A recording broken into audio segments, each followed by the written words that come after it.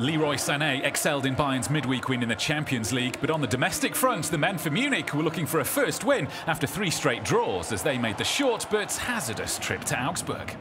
Bayern were beaten here last season and found life difficult in the opening stages. Sadio Mane, without a goal in his last four in all competitions, had one of a number of chances in the first half, but Rafael Gikiewicz provided an early glimpse of the important role he would play in the match.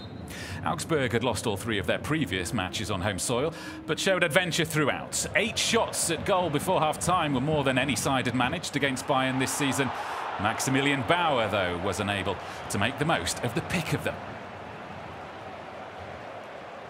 Goalless then at the end of a breathtaking and evenly balanced first half.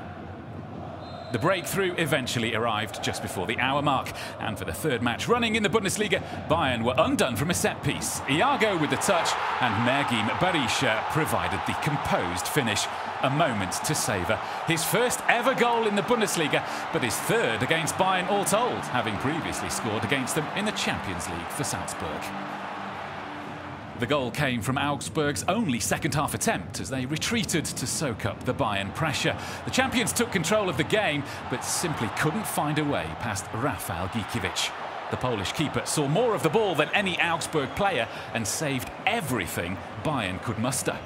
Last week, he was Augsburg's stoppage time hero, saving a penalty at Bremen, and once again in time added on, produced the most dramatic of saves.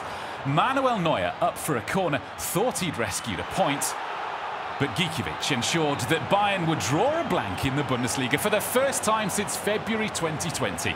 Gikiewicz will grab the headlines, but this was a triumph of the collective for Augsburg. An afternoon to forget for Bayern as their winless run extends to four, but one that will live long in the memory at Augsburg.